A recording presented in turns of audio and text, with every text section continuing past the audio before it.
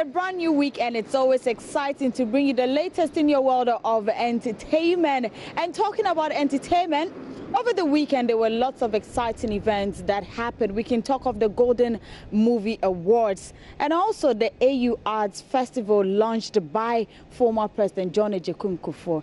And there could be a possible rap battle between rapper Sarkodie and Flowking Stone. I'll tell you more on that. And Rihanna, hmm, seems she's not lucky, but um, we'll bring you details on that. My name is Doreen Avio, and the show is Let's Talk Showbiz.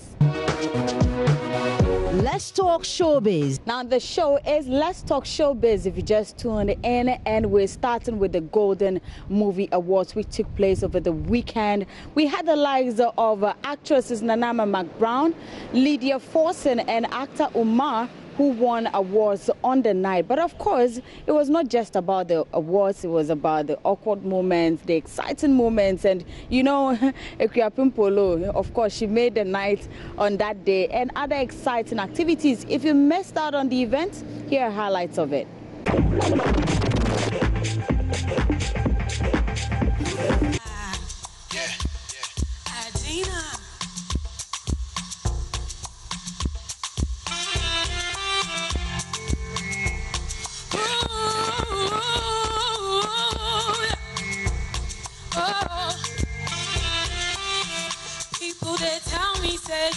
You let me for a fool.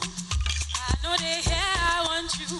Be my baby boo. Makeup artist goes to Nodrin Ivansi, The Forbidden. Oh my god. Oh, thank you very much. I'm here to present our for the Golden Editor Sound.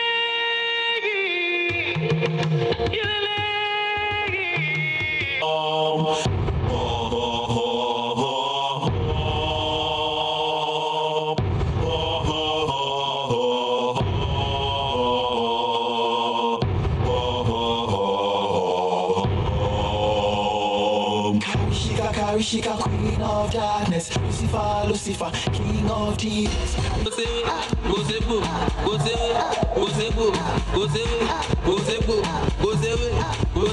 Wọ́n ti kó mi gọ́tà pọ̀, ojú ti dọ̀tí.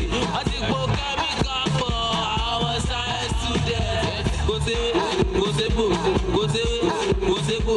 The Golden Soundtrack Award goes to OC OKJ, Potato Potato.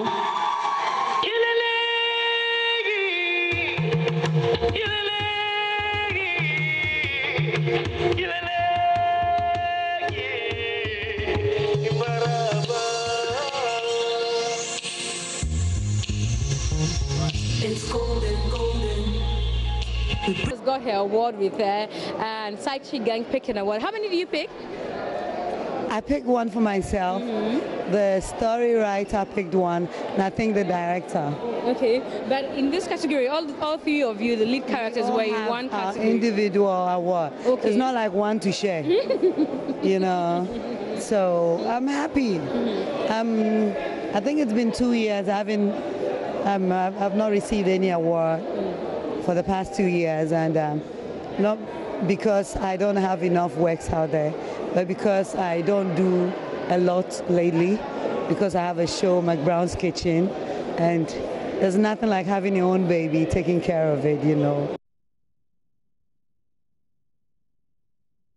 So here's the man who's been winning all night. He's been winning all night. A lot of people have been talking about the fact that Babani, I hear it means my auntie. Yeah, Babani means auntie. Okay, and he's been winning all through the night. Yeah, we had um, nine nominations and we've carried for the highest so far for the night. All right, so this is the newest red carpet host in town, Moesha Boduong, and uh, she was on the red carpet. How was the experience? It was fun. I was excited. I loved it, and I think I want to do it again. Were you nervous when you were I coming? Was so nervous. If you could watch from the first three interviews, I was like literally shaking. But after that, I was all right, and I loved it.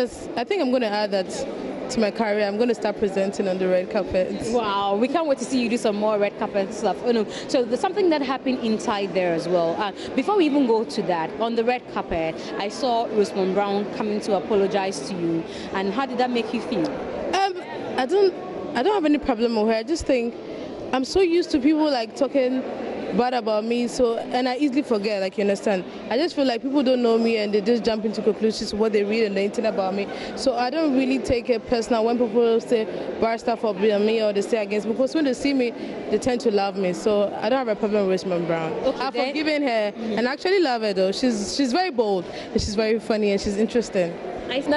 There you go. So that was it on the night for the Golden Movie Awards. But I bet you there are some exclusive events, and we'll be bringing all of that to you um, later in the week. Yes, they are for us. So we'll, let you know more about that. Now, away from that, over the weekend, former President John Agyekum Kufuor also launched the AU Arts Festival. And of course, our celebrities were there to support the Arts Festival. And um, IB was also there, and um, that's what happened on the day.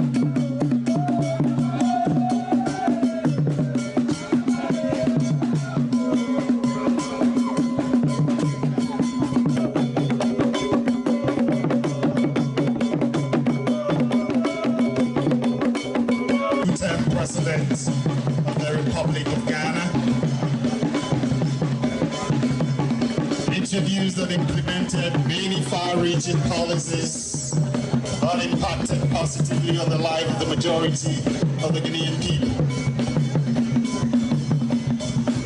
Yes,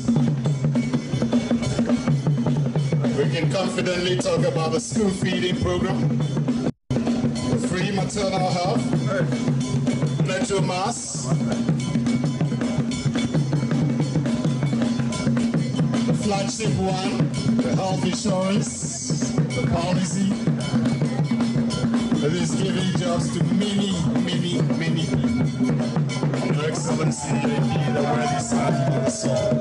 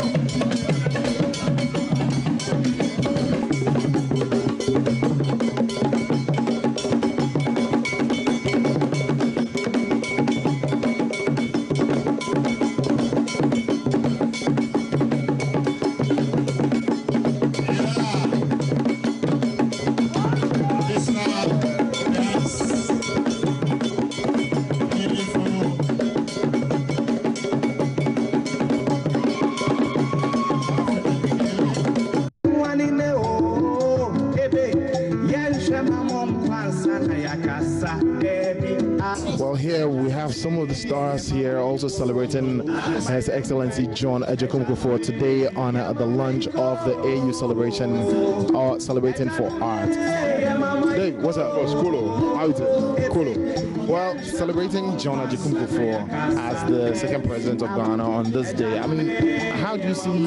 How have you seen him as a president and him being an ex-president? Um, I think, as they rightly call him, a gentle giant. He's a very humble individual, and I think um, during his tenure in office, he really did well for Ghanaians, and um, it's just a legacy that he's left behind. And it's indeed a big honor to be here to celebrate him and to, you know, during his tenure in office, he was great. You know, he really did great for Ghana, and um, whatever he he did is, you know, deserve to be emulated. At the moment, um, as an ex-president, he's also living the dream, encouraging the young ones coming up, and uh, you know, the man is full of humility. So I believe um, he's, he's um, he had so many attributes and great qualities to be, to, you know, to be emulated in terms of leadership.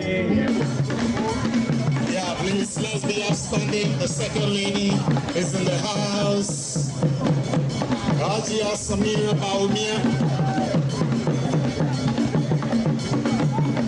Wife of one of the most intelligent vice presidents we've ever had.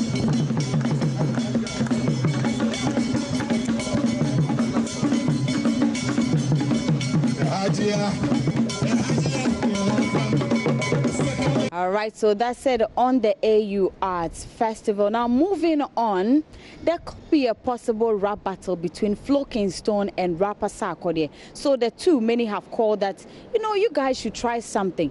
But Flowking Stone says he will only do that on one condition. Now, what's that condition? Let's hear him in this interview with my colleague Maxwell Amofia.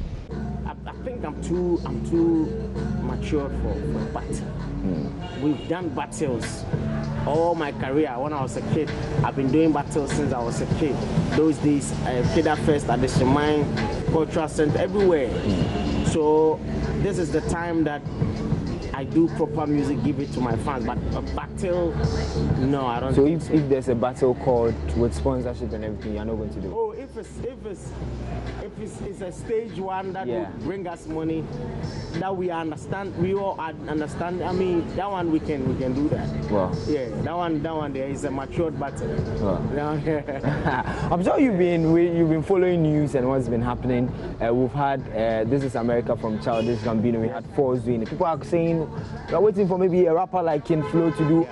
I wish we expect this is Ghana from King Flo. Yeah, you know, I actually had messages on Twitter Uh. that yo, Flo, you, you should you should do this, This is Ghana, Ghana. and the rest. But uh, it, it wouldn't have been bad. But I like to be original. I like to I, I like to innovate. I like to bring it. I like to feel for it before I do it. Sometimes you see when you force yourself to do what they are doing, you may you may leave some of you. Yeah. When I'm doing anything, I want to I want it to be all of me. So I want to feel it first, like okay, I want to do it before I really want to do it. Not because someone said I should do it or people think if I do it, it'll be cool.